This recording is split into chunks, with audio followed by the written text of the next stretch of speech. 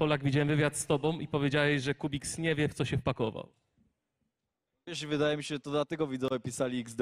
Nie oszukujmy się, jest różnica wagi, jakby ja mam jakieś takie styczność ze sportami, a jednak kolega siedzi cały czas w swojej komnacie, ledwo to jest, wiesz, jakby dotleniony, przez to ma problemy z wysławianiem się, jak to u niego na czacie jest podłapywane ze słownikiem, więc podejrzewam, że jakby stąd się wynikł cała fala śmiechu i tak dalej. Sam zresztą oglądałem ten stream, jakby zapowiedź moją i sam śmiechowałem z tego.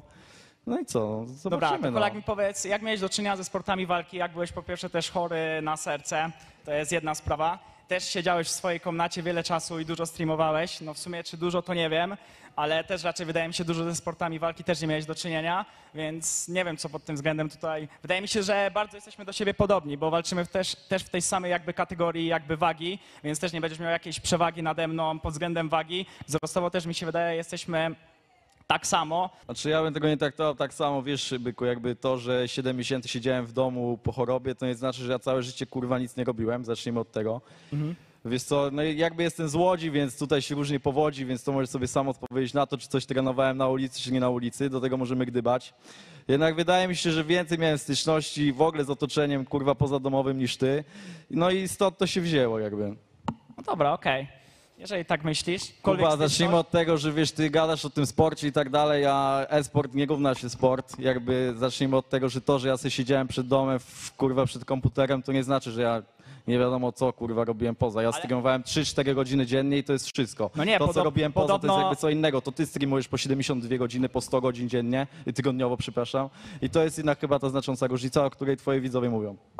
Okej, ale też mówię, że... Twoje wiesz- oczy mówią, ile enek goli mi się wydaje wypiłeś w poprzednim tygodniu, kurwa, i na tym skończmy.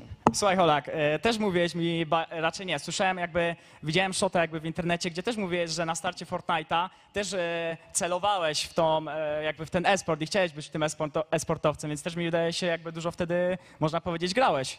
Kupcio, ile lat temu to było? 3 czy 4? No nie wiem, czy się coś Wydaje mi zmieniło się, do że tej pory. 4. Ile grałem? Sam dobrze wiesz. Kubiks, ja też rozmawiałem z tobą poza kamerami i nie ma co ukrywać teraz, u Holaka działo się bardzo dużo. Ty zauważyłem po twoich reakcjach, że nie jesteś zwolennikiem tego wszystkiego, co się stało, że twierdzisz, że nie powinno się tak robić, że masz swoich ziomków i zamiast z nimi pogadać twarzą w twarz, to wyciągasz wszystko do internetu. Tak, no to, to, to jest zdecydowanie też prawda. Jeżeli znasz się e, z kimś tak długo, Holak to z tego co widziałem, to na starcie też Fortnite'a grał z chłopakami, to jest nie wiem, z grube z 5-6 lat, nie wiem ile dokładnie. No jeżeli znasz się z kimś tyle lat, to nie wyciągasz na nich jakich, jakichkolwiek, nie wstawiasz na nich filmików, nie? Jak już to starasz się sprawę jakby pogadać z nimi prywatnie i starać się załatwić to wszystko prywatnie, zamiast e, wciągać to wszystko do internetu. Tak mi się wydaje. Dobra, Kubuś, zacznijmy od tego, że znasz się z chłopakami 5-6 lat. Czy jakiś twój przyjaciel wysyłałby ci donaty, żeby jakby ukrzywdzić ci całą twoją twórczość w internecie? No, To są wiadomo- dla ciebie przyjaciele. No tak, ale mówisz teraz o jednej osobie. Nie, tak albo mówi- nie. To są dla ciebie przyjaciele? Słuchaj, ale mówisz teraz o Nie, jednej słuchaj, osobie, tak nie, czy mu- nie? nie mówisz o wszystkich teraz. Ale bijemy do jednej osoby, która najwięcej krzywdy zrobiła. Jest krótka piłka. Ja do tej osoby pisałem wiele razy, prosiłem ją. Co Jakby pisałem wiele razy do Japczana, tutaj jest krótka piłka. Głównym prowokatorem jest ta osoba. To mi nie pasuje, to mi nie pasuje. Proszę cię, zmień to w momencie, kiedy on to wyśmiewa, ma wyjebane za przeproszeniem. Atakuje moją kobietę. Jest to dla mnie jasny przekaz, że raczej nie będziemy mieć ze sobą dobrych dalej jakichś wspomnień i tak dalej. Ja nie powiedziałem nigdy w życiu, że nie wspominam źle jakby naszej historii i tak dalej. Ja jestem wdzięczny za to, gdzie jestem. Jestem wdzięczny jakby rzeczom, które przyszliśmy. Zbudowałem mnie one jako osobę. Bardzo przykro, że to tak się potoczyło, ale niestety takie jest życie. No dobra, ale mówisz teraz o jednej osobie. A czemu jakby wyciągnąłeś wszystkie brudy, można powiedzieć, na całą ekipę, a nie tylko na jedną Na osobę? całą ekipę, na którą osobę wyciągnąłem brudy, jeżeli oglądałeś filmik. Jeżeli oglądałem filmik, na pewno Oksajo widziałem cokolwiek też, że Cokolwiek znaczy, co widziałeś. nie wiem, musiałbym zobaczyć od nowa Jeżeli się ale przygotowałeś i mówisz jakieś rzeczy, to co? Co zrobiłem? nie wiem, wiem na pewno w filmiku, że były jakiekolwiek screeny, jeżeli się nie mylę, na Ksajo. Nie było.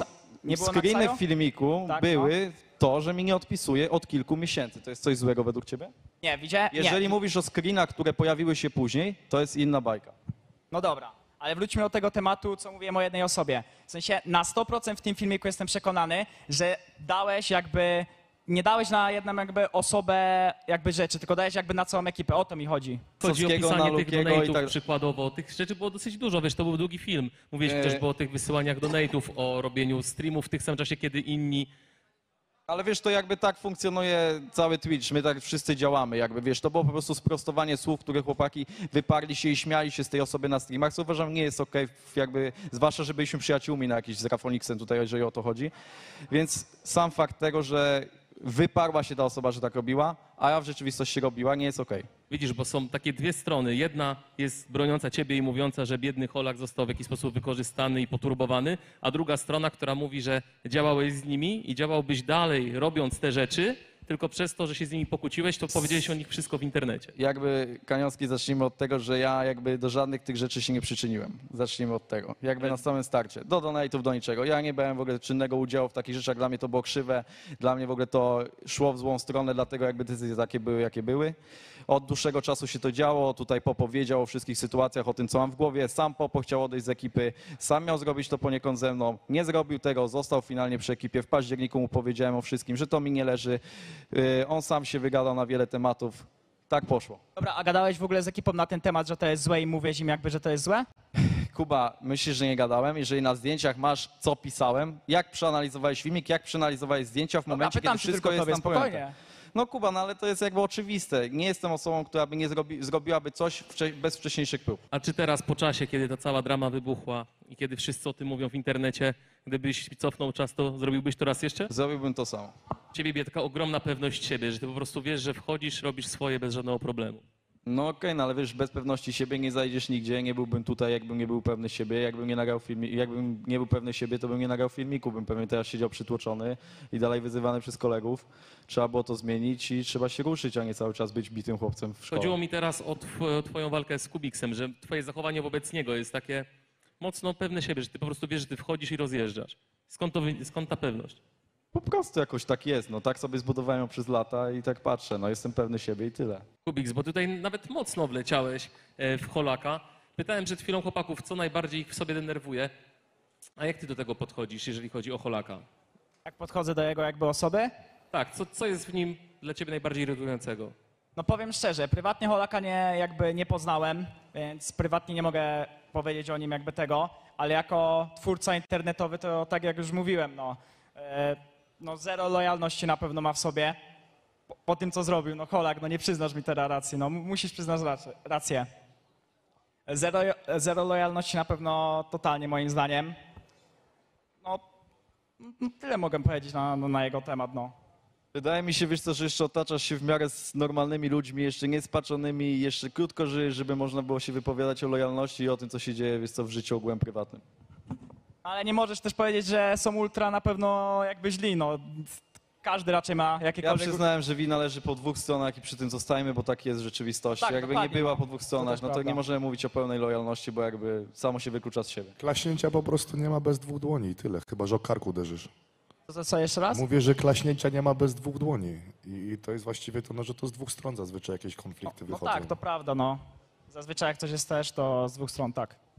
Natomiast Holak, w drugą stronę pytanie, co u ciebie drażni w Kubiksie?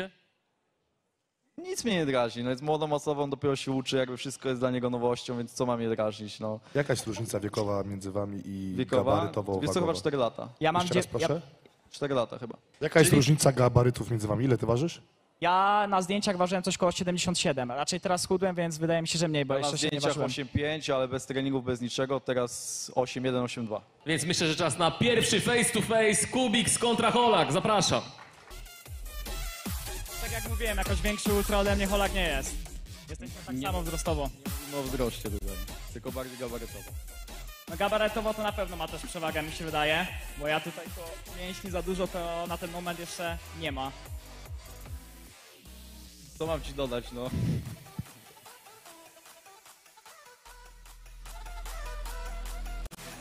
Pozycja bokserska i napięcie tych wielkich mięśni. Brawa, panie i panowie.